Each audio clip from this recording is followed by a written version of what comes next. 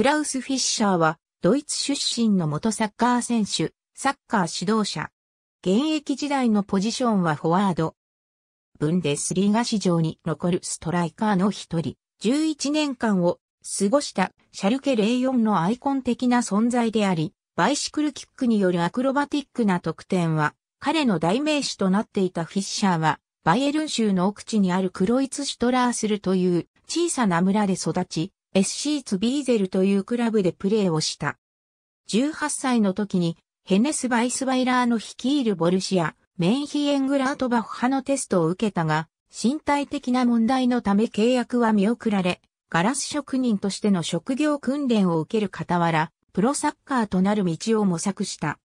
やがて、センターフォワードの人材を探していた TSV1860 ミュンヘンの面に留まり、2年契約を締結。シーズン2年目にリーグ戦で19得点を挙げる活躍を見せたが、チームは成績不振により2部リーグに降格した。1970年にシャルケ04へ移籍すると、すぐにチームを牽引する存在となり、1971から72シーズンにはリーグ戦2位となり、優勝を逃したものの DFB ポカール制覇に貢献した。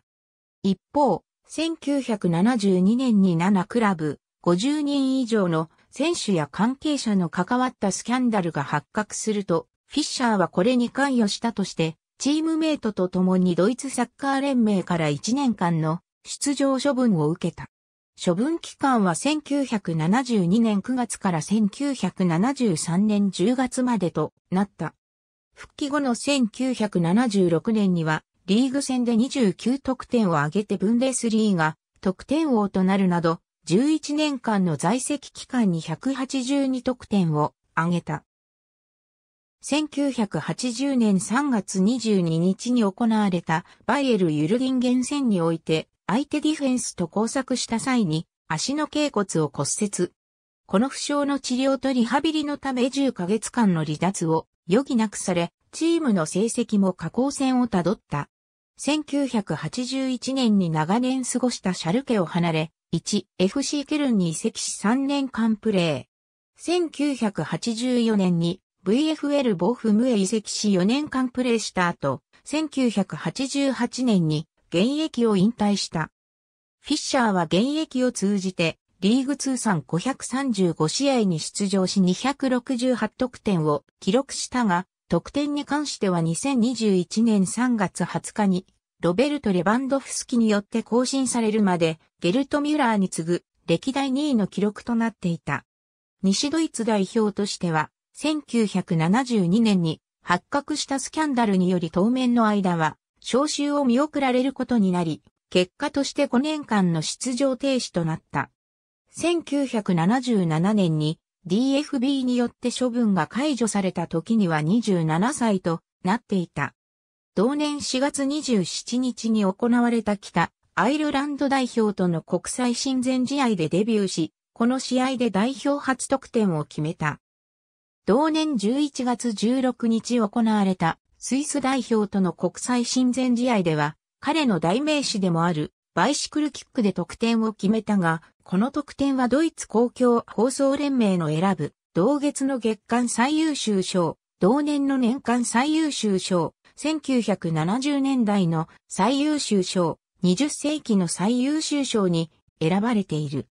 1978年にアルゼンチンで開催された 1978FIFA ワールドカップではセンターフォワードのレギュラーとして大会に挑んだが無得点に終わり評価を落とした。アルゼンチン大会後、監督に就任したユップ・デ・アバルの下で信頼を回復し、1980年にイタリアで開催された UEFA 欧州選手権1980に向けて、フィッシャーをセンターフォワードに据えた布陣で準備が進められていた。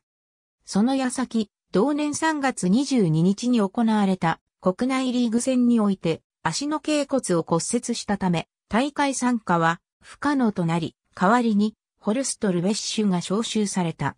1982年にスペインで開催された 1982FIFA ワールドカップではセンターフォワードの座をルベッシュと争うことになった。一次リーグでは控えに回ったが、二次リーグのスペイン代表戦で先発出場を果たすと、これ以降はスタメンに定着。準決勝のフランス代表戦では延長後半に途中出場したルベッシュからの折り返しからバイシクルキックを放ち、3から3の同点とする得点を挙げた。続く決勝のイタリア代表戦でも先発に名を連ねたが、この試合が最後の代表出場となった。